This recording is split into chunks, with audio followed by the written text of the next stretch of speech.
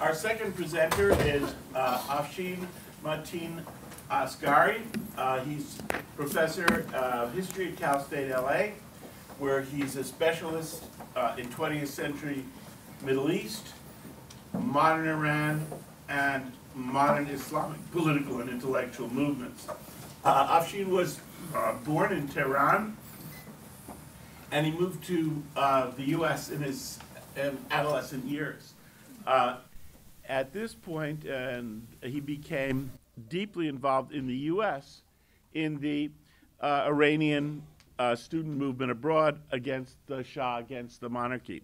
And he then returned uh, to Iran in 79 to participate in the revolution and what uh, ensued thereafter. Um, he, he broke then from the uh, post-revolutionary regime in Iran and came back to the U.S. once again. So uh, in 1993, uh, Afshin received his doctoral degree in Middle East history, just coincidentally from the history department right here, uh, where uh, we many of us uh, had the pleasure of knowing him through his graduate student years. You um, signed on to it. What? You signed on to the that, that was definitely forged. Um, uh, uh, his, uh, and uh, so his dissertation was published in 2001 as uh, Iranian Student Opposition to the Shah, uh, which was the first comprehensive history of Iran's student movement from its origins into the 1970s. more recently, he's been for a while preparing a big book called neither east nor west, an intellectual history of modern Iran, which is going to be coming out. Is it out? Uh, in a few months. It's co coming out, as you can see uh, from Cambridge. We much, uh, very much look forward uh, to its appearance. Afshin, thank you very much for coming here to help us out. Thank you. Thank you, Bob.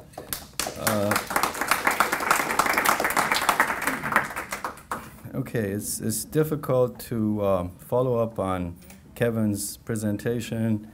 Uh, Kevan asked me to uh, talk about my book and also focus on uh, post-revolutionary left in Iran. Um, now, my book is not on uh, the pre-revolutionary left. It has a focus on the pre-revolutionary left, but it stops at the point of revolution because post-revolution would be too too much to cover. So uh, what I'm going to do is um, this is the cover of the book. I'll say a few things about it, but let me first uh, thank Kevan for inviting me. The center, I just call it the Brenner Center. Sorry, the other name is too long. Uh, and uh, one thing about the introduction also is that uh, I give you the conclusion of my uh, talk about post-revolutionary left, you know, considering Kevan's work uh, as part of that, I would say the state of post-revolutionary left in Iran, at least intellectually, is pretty doesn't doesn't look bad. It's pretty good in terms of understanding and analysis compared to um, to where we came from. So. Um, uh, I'm also happy to be back here in the seminar room where I was sitting uh, with Bob, uh, graduate seminars. It was not about the Iranian Revolution, it was mostly about transition to capitalism, the Brenner debate. So whatever I say here, uh, you know, I have to take uh, credit or blame for it. This is not the things that he taught me. He taught me other things. Um, but it's good to be back here. So I want to organize my talk uh, in the following manner. Uh, first, uh, I'm going to say a few things, introduce the Iranian left's origin and its history up to the 1978-79, the so-called Islamic Revolution. Uh, I will say a few things about the left's participation in the revolutionary process, uh, its historical defeat and destruction during the revolution's early years, and then in some kind of a fast forward, because there I have to cover about 30 years and more, I will fast forward to the question of who or what the Iranian left might be today. And then, uh, as Kevan finished, everyone is interested in okay, what about now? What's going on today? Does, does the left have a role in what's coming uh, next? Um, so, um, I, as you saw from Bob's introduction, I've become somehow a historian of the Iranian left because of my first book, my dissertation, that was a history of the Iranian student movement uh, abroad. And uh, I've written uh, articles, book chapter, mostly dealing with the history of the left. And uh, this book that uh, I just finished, I, I, I, I, gave Bob the wrong title. The correct title is Both Eastern and Western, an intellectual history of uh, Iranian modernity the second part was added by Cambridge to make the title a little better than what I had. But uh, the both Eastern and Western is an inversion of the Islamic Republic's official label of itself, self definition, a claim of authenticity, uh, and uh, basically both uh, nationalist slash Islamic authenticity were neither Eastern nor uh, Western. In I'm sorry. In all of the meanings of East and West, um, my book basically, if that's one argument, is if you look at the intellectual history of 20th century Iran, uh, it's both Eastern and Western in all kinds of meanings of those terms. Uh, thanks. Um, and this picture. Um, is I basically convinced the editors to use it. We just pulled it, uh, um, you know, just from the internet. It's a painting by uh, Bijan Jazani, uh, a, a, leader of uh, leftist uh, Marxist guerrillas who managed not to die in shootouts because he was imprisoned. And in prison, one of the things he did, in addition to being the theoretician of the movement, he did some painting. This is one of them. In this painting, he has he has captured uh, this event uh, uh, which takes place in northern forests of Iran at a place called Siyahkal, which refers uh, to the name of uh, deers, or I don't know if that forest at some point had deers. But so this is a picture of a deer. It's a militant, it's a, it's a guerrilla armed in prison. He couldn't put the Kalashnikov in his hands, but he put a sword and uh, the style of the painting is also, to me at least, uh, no one has paid much attention to this painting. I, I, mentioned Jazani in my book, so I thought this is a primary source and is striking, interesting. And to me, even kind of artistically, the style is that mishmash of shows influences, all kinds of influences, cubism, kind of modernism. At the same time, it has uh, religious symbolism. It has the, the hand with, with the eye on it. Uh, there was a phenomenon at that time in Iran which uh, the government labeled Islamic Marxism because there were two main uh, underground guerrilla organizations in the 70s fighting the regime. One of them, Jazani's group, was out and out Marxist Leninist. The other one was uh, Islamic and yet openly uh, accepting uh, political uh, aspects of Marxism. They read the Quran um, in terms of class analysis and they sympathized with revolutionary movements around the world. The regime called it Islamic Marxism to show its eclecticism and uh, basically it was an attack label.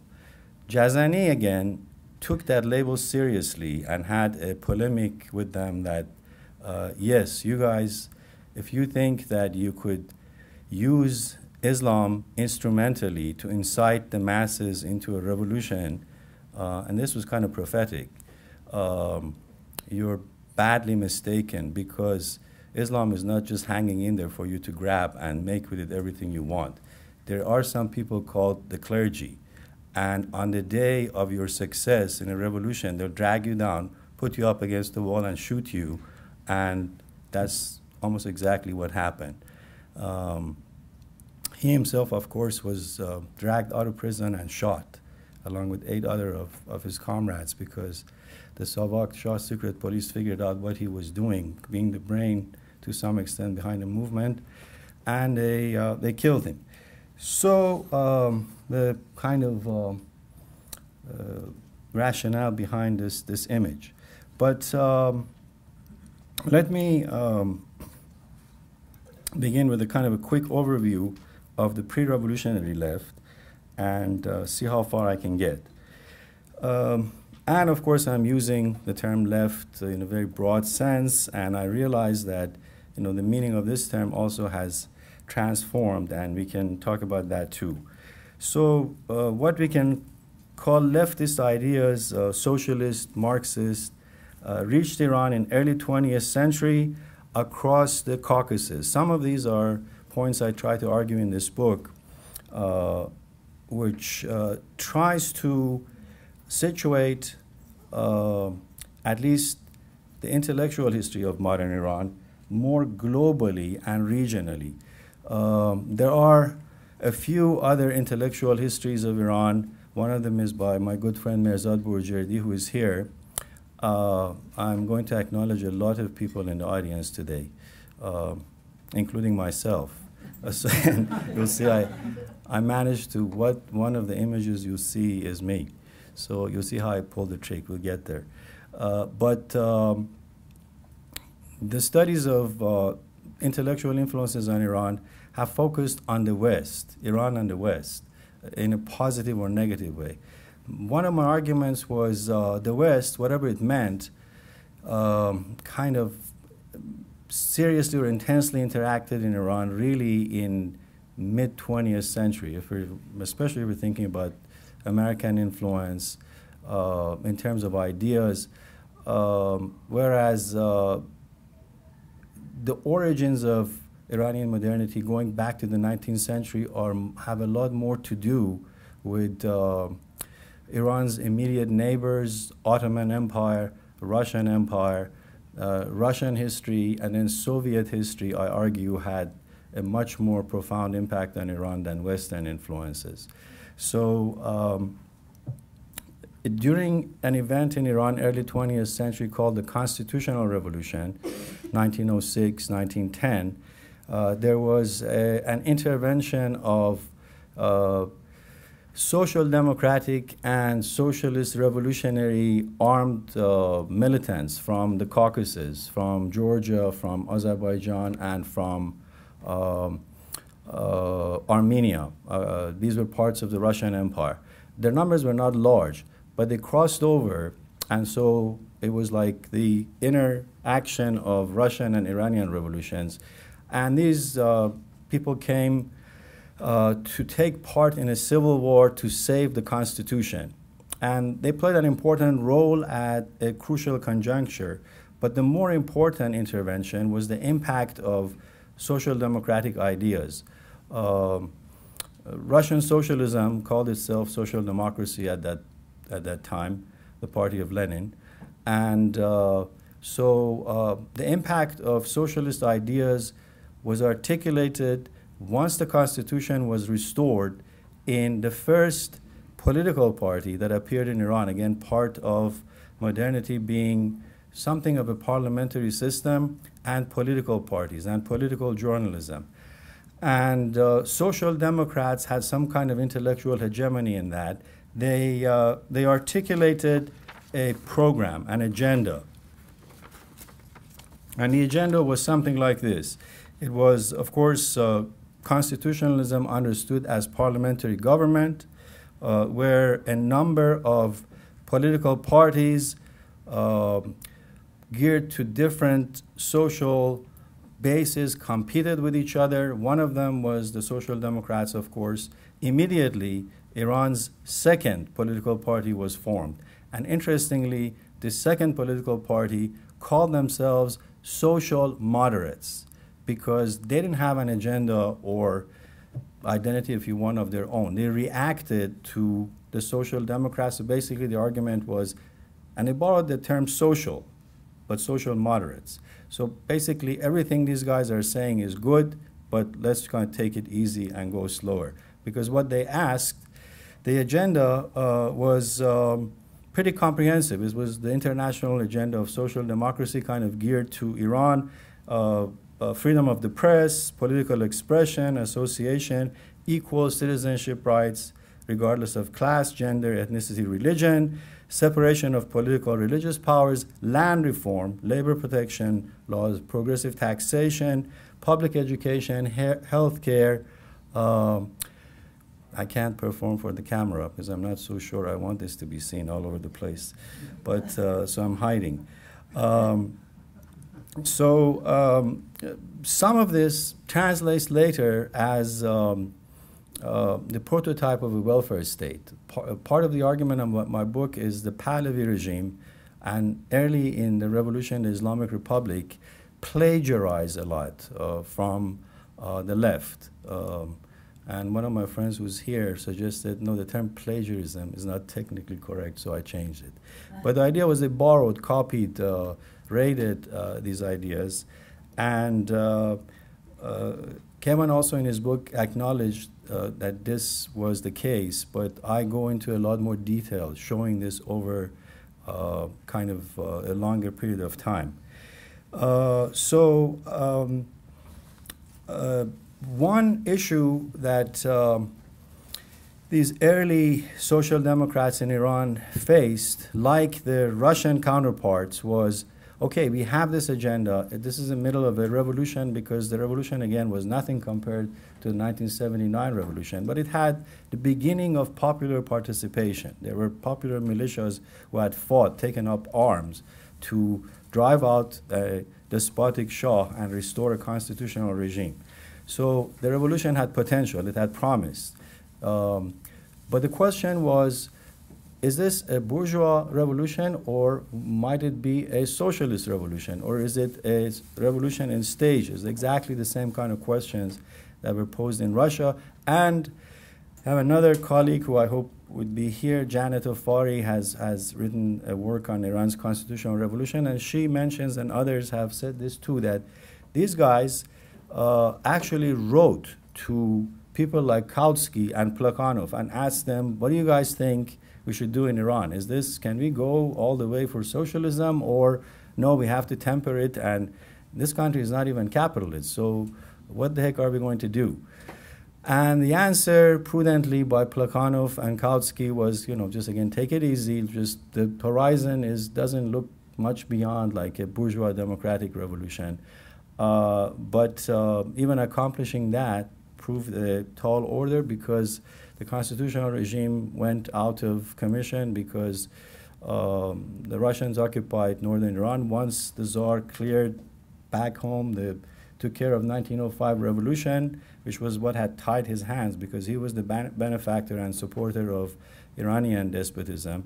He sent his troops who occupied northern Iran, and constitutional regime was just on paper. Then World War I came, and all of the country was occupied.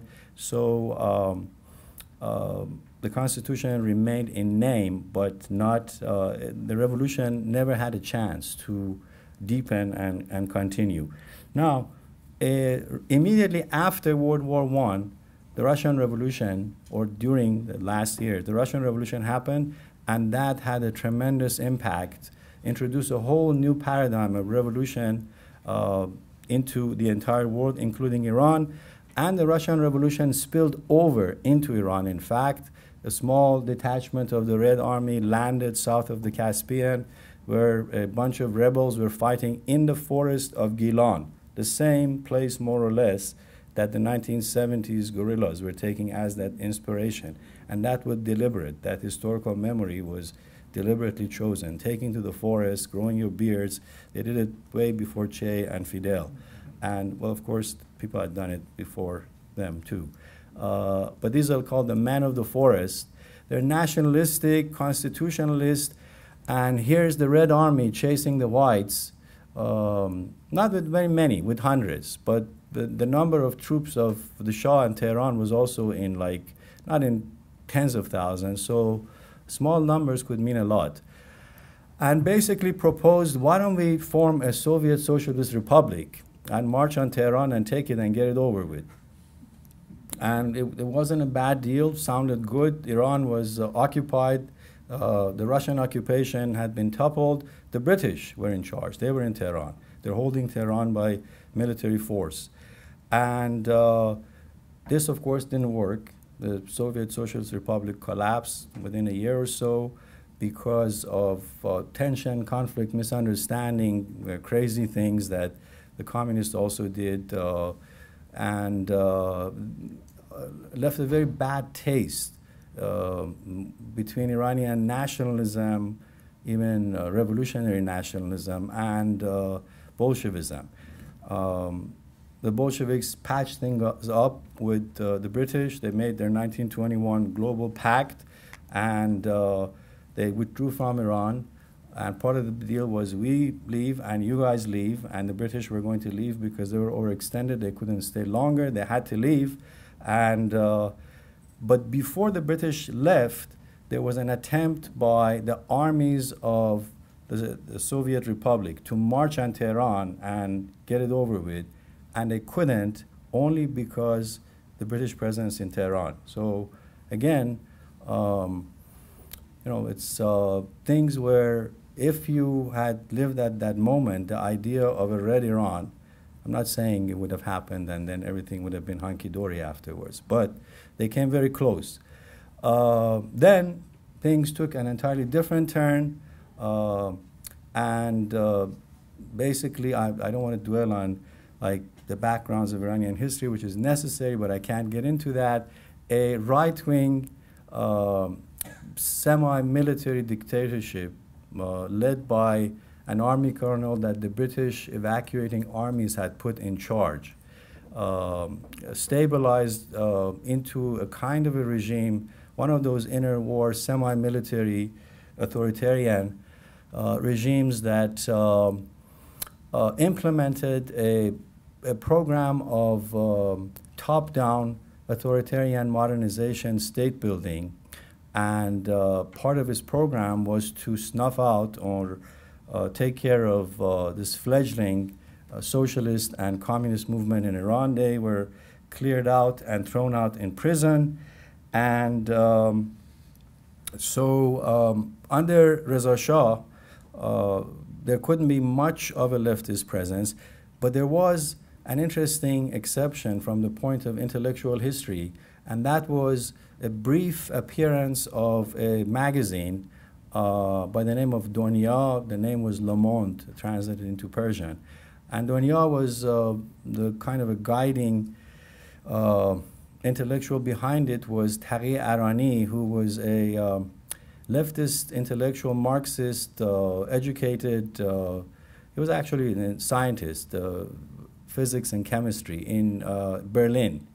And so he was a, um, um, uh, some kind of the project that he had in this magazine. He wasn't alone, but he was uh, the recognized figure behind this. Uh, was some kind of a semi Gramscian. He, I don't think he knew Gramsci, but uh, um, the idea was uh, before you talk about class struggle, there has to be a pedagogical, uh, you have to teach uh, the socialist intellectual elite has to teach socialism to the masses. And the socialist intellectual elite is, is us, it's intellectual, the middle class intellectuals. And uh, so um, uh, Marxism, socialism, they, they couldn't use those terms, but they're talking about a worldview that was modernist and Marxist, but some kind of a Marxist pedagogy, some advocacy of a socialist intellectual hegemony. Now, uh, the thing is, these are part of the arguments I try to develop in, in my book. Uh, this actually materialized. Arani typically was picked up, thrown into prison, and uh, he either died or they caused him to die as Iranian prisons has this kind of interesting tendency that people commit suicides in them or uh, easily die. So he too perished.